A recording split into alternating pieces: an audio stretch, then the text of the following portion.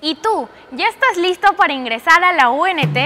Este viernes 21, sábado 22 y domingo 23 de octubre se realizará el examen ordinario 2023-1. Y la Universidad Nacional de Trujillo tiene todo preparado para que participes de este importante proceso, que hará que te conviertas en un nuevo alumno de esta prestigiosa casa de estudios. Universidad Nacional de Trujillo, rumbo al Bicentenario. ¡Vamos! ¡Tú puedes lograrlo!